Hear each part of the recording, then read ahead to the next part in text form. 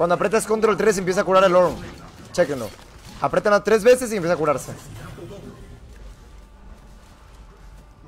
Sí sabían eso, eh. Se empieza a curar, pero tienes que dejar en control 3. Ese es el nuevo buff. Ya no tienes solo que ir a comprar a base, sino que también puedes curarte fuera de base.